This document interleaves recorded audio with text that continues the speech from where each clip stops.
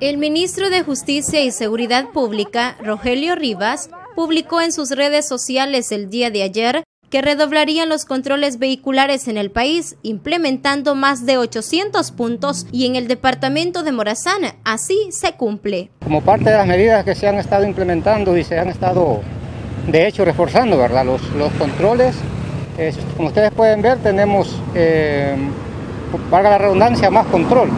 Eh, más personal y pues más estricto, a medida de que la gente vaya de alguna manera cumpliendo las medidas que ha establecido el gobierno, durante toda la cuarentena, los controles vehiculares han estado verificando que se cumple el decreto ejecutivo número 29, pero hoy han redoblado esfuerzos para garantizar que la población salga solo si le corresponde según número de DUI, a trabajar o con justificación válida de emergencia. En lo que es aquí, lo que es la cabecera departamental de San Francisco Botera, tenemos controles en las tres principales entradas hacia la ciudad con la misma modalidad, ¿verdad? Hemos reforzado con personal de tránsito, personal de la pública, de las áreas e incluso de áreas especializadas, este, con la idea de, mantener más control, pues por las personas que de alguna manera no quieren entender, ¿verdad? Que esto es algo que debemos de cumplir y por ello pues estamos ahorita eh, no solamente en estos controles, también tenemos en las principales carreteras aquí la ruta de paz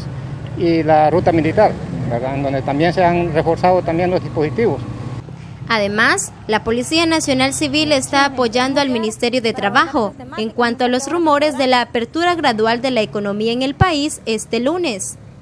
Entiendo que se estaba pretendiendo eh, que se activara, no sé, ¿verdad? La, parte, este, los negocios que no están autorizados, pero en fin, pues eh, la idea es que como estamos en la fase 3, que es la más eh, por más complicada, pues la idea es evitar que la gente, su mayoría, salga más que todo cuando no tiene necesidad de andar en la, en la calle.